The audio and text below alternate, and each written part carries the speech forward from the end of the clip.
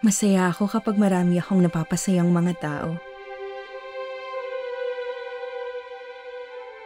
Ito ang tanging pangarap ng isang babae sa likod ng isang mascot. Subalit, hindi suportado ng kanyang mga magulang ang trabaho niya. Nakakahiya yung ganyang trabaho. Bakit kasi yan ang pinili mo? Ewan ko ba sa'yo? Sa dami-daming trabaho, bakit hindi ka maganap ng iba? Isang araw, inimbitahan siya para sa isang children's party na gaganapin sa isang hotel. Ang bili ng kanyang kausap, sorpresahin niya ang birthday celebrant at mga bisita nito. Pagdating niya sa hotel, agad siyang nagbihis at sinuot ang kanyang costume. Pumasok siya sa unang pinto at sinurpresa niya ang mga bisita. Subalit, nagtaka ang mga tao at tiningnan siya ng masama. May lumapit sa kanya at siya'y pinalabas. Miss, hindi mo ba nakikita? Kasal ito, hindi children's party. Agad siyang lumabas ng pinto at humingi ng paumanhin. Muli siyang pumasok sa pangalawang pinto at sinorpresa ang mga bisita. Pero may lumapit sa kanya at muli siyang pinalabas. Ano ba yung itsura mo ate? Debo ito, hindi children's party.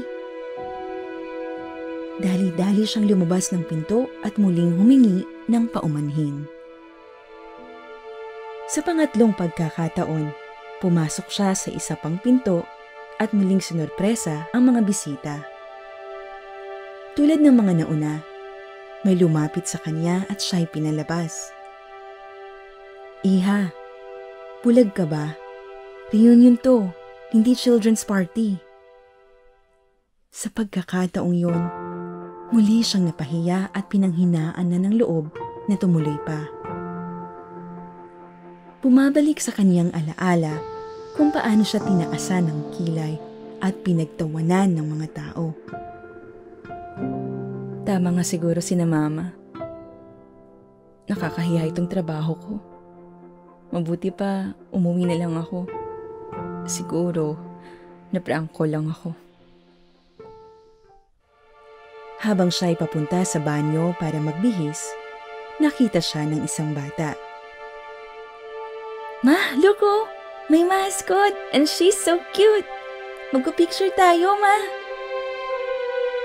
Sige, mabilis lang ha. Malilate na tayo sa party. Pagkatapos nilang magpicture, sinundan niya ng tingin kung saan pumasok ang mag-ina. Doon niya napagtanto sa apat na pintuan na magkakatabi. Yun lang ang hindi niya pa napupuntahan. Muli siyang nabuhay ng loob at siya'y nagtungo sa pinasukan ng mag-ina. Sa takot niyang mapahiya uli, dahan-dahan niyang binuksan ang pinto at bumungad sa kanya ang mga ngiti at saya ng mga bata nang siya'y makita. Niyakap siya ng mga bata at nagpa-picture pa ang mga ito. Pagkatapos ng party, may lumapit sa kanya para iabot ang kanyang talent fee at isang sulat. Who knows your value is who appreciates you.